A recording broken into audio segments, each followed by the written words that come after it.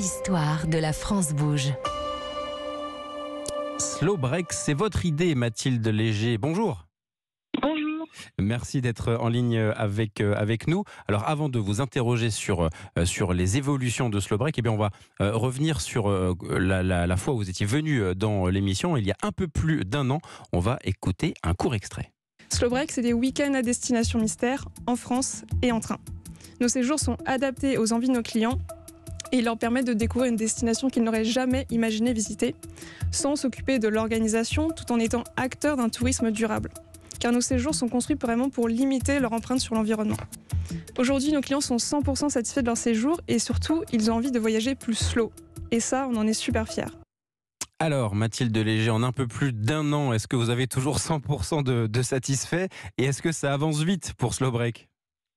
Euh, bah oui, je, suis toujours très contente de lire des retours euh, de nos clients. On a déjà fait voyager plus de 300 personnes euh, en France et en train. ils ont tous découvert une destination bah, justement qu'ils n'auraient pas choisie par eux-mêmes, une destination qui les a bien surpris.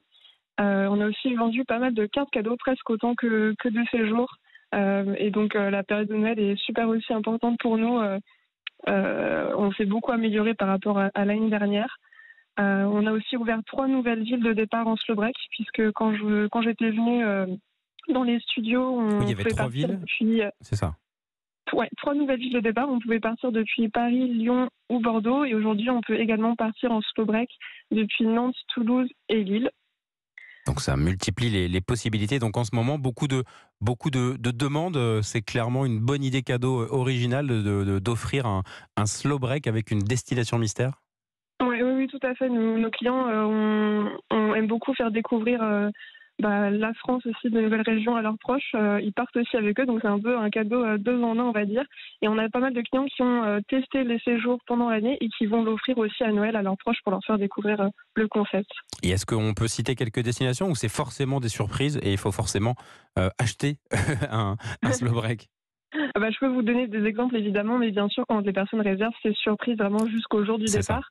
Euh, comme destination, on peut avoir euh, qui sont peut-être un peu insolites pour certaines personnes, euh, Dijon, en Bourgogne, Amiens, Nancy, ce genre de destinations qui ne sont pas forcément toujours choisies par nos clients, mais qui au final les surprennent vraiment en bien, puisque c'est des destinations où il y a beaucoup de choses à faire qui sont très agréables à visiter et très jolies.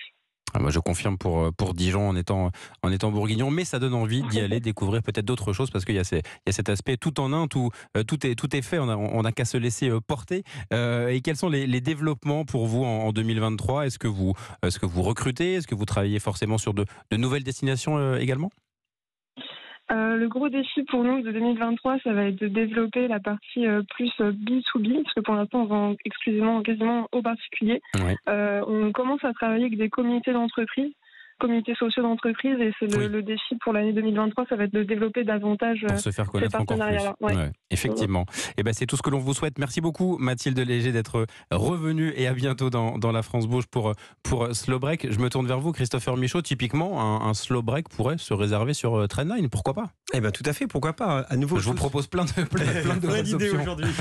Mais c'est justement le fait d'enrichir son offre. Euh, à nouveau, le, but étant que de plus en plus de gens voyagent en train et euh, ce genre d'offre va vraiment contribuer à euh, développer l'usage du train en France. Et cet aspect de euh, voyager un petit peu plus lent, prendre de nouvelles habitudes, euh, ça aussi, vous le, voyez un petit peu justement dans le type de recherche, de se dire que bah, on va peut-être oublier l'avion pour cette destination-là parce que pourquoi pas en fait une heure de plus euh, ou deux en train c'est euh, c'est aussi possible ça, ça, fait partie des choses que vous que vous observez? Alors absolument c'est vrai qu'on a beaucoup parlé de la grande vitesse avec le train mais on voit de plus en plus aussi d'initiatives de nouvelles initiatives sur du train à ce qu'on appelle la vitesse normale hein, mmh. qui n'est pas donc la grande vitesse euh, l'opérateur historique a lancé des nouvelles lignes qui en, oui. en, Wigo vitesse normale, c'est exactement comme ça qu'ils l'ont appelé. Ouais. et puis, comme le, je mentionnais tout à l'heure, on a une initiative comme Railcop qui va aussi lancer un train vitesse normale entre Bordeaux et Lyon.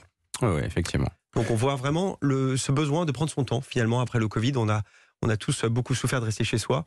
Et finalement, on découvre que bah, prendre son temps, c'est aussi pas mal.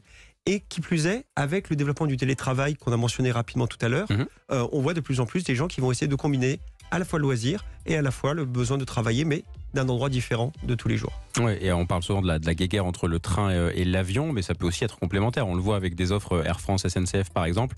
Euh, je ne sais pas si sur Trainline, on peut aussi imaginer, pourquoi pas, euh, un voyage complémentaire avec certaines compagnies, ou est-ce que on sort un petit peu de, l'idée de, départ? Alors on sort un petit peu de l'idée de départ, puisque notre, but est vraiment de faire la promotion de modèles verts. Donc je pense que tant que les avions ne, ne voleront pas avec du fuel vert, on ne va pas les vendre tout de suite. Il faut augmenter le, niveau de, biocarburant, c'est euh, en train de se faire, mais il y a encore du, du travail, et bien évidemment.